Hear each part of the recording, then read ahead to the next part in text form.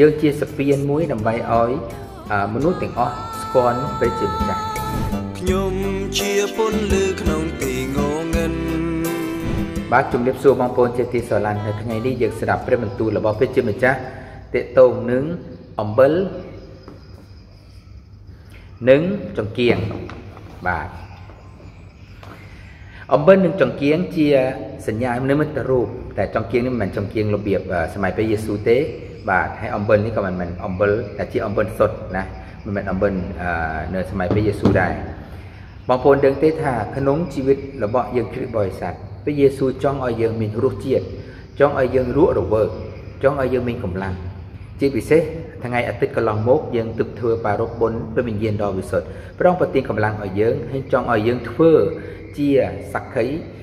ប្រងសក្ខីភាពឬធ្វើជាសក្ខីឲ្យមនុស្សទាំងអស់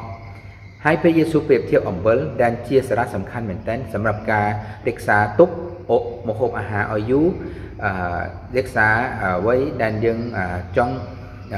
មានរសជាតិនៅក្នុងជីវិត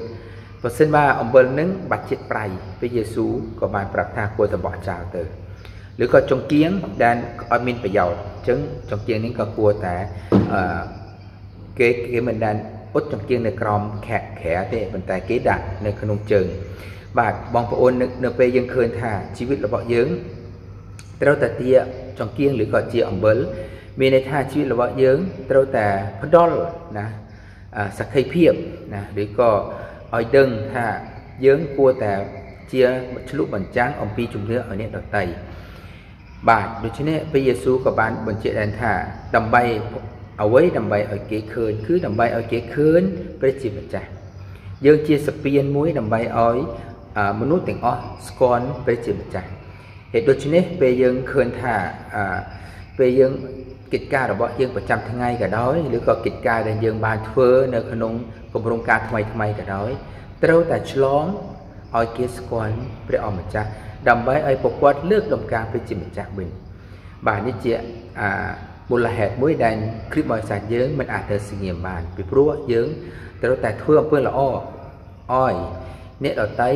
ឃើញព្រះជាម្ចាស់មានន័យថាធ្វើម៉េចដើម្បីឲ្យឃើញគ្រីស្ទបរិស័ទឃើញព្រះជាម្ចាស់ឬក៏ឃើញលទ្ធិនុភាពរបស់ព្រះអង្គ